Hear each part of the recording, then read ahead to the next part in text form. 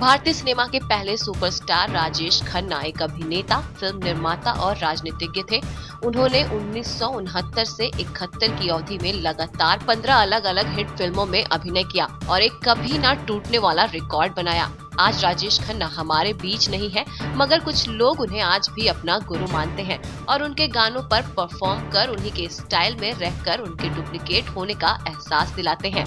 मेरठ के junior Rajesh Khanna, film star Rajesh Khanna की तरह दिखने के लिए बिल्कुल उन्हीं के स्टाइल में रहते हैं।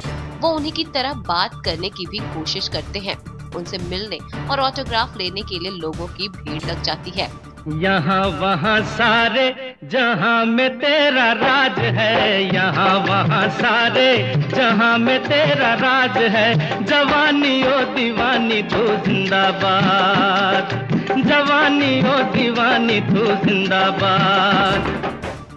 जूनियर राजेश मुंबई में रहकर कई फ़िल्मों में काम कर चुका है। वो राजेश खन्ना के साथ वफा और रियासत सहित कई फ़िल्मों में भी काम कर चुका है। दोस्तों को मेरा नमस्कार। दोस्तों मैं जूनियर राजेश खन्ना और काका जी का मैं बहुत बड़ा फ़ैन रहा हूँ। आज भी हूँ। मैं यही चाहता हूँ कि काका जी को हमेशा सबके दिलों में ज़िंदा रखा जाए। काका जी को यदि कोई भूलना भी चाहे तो भूल नहीं सकता रे।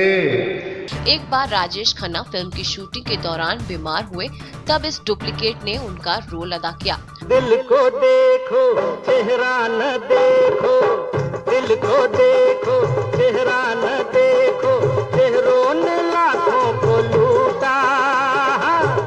दिल और टूटा बॉलीवुड की अपडेट्स और गॉसिप न्यूज़ के लिए मायापुरी कट सब्सक्राइब करना ना भूलें।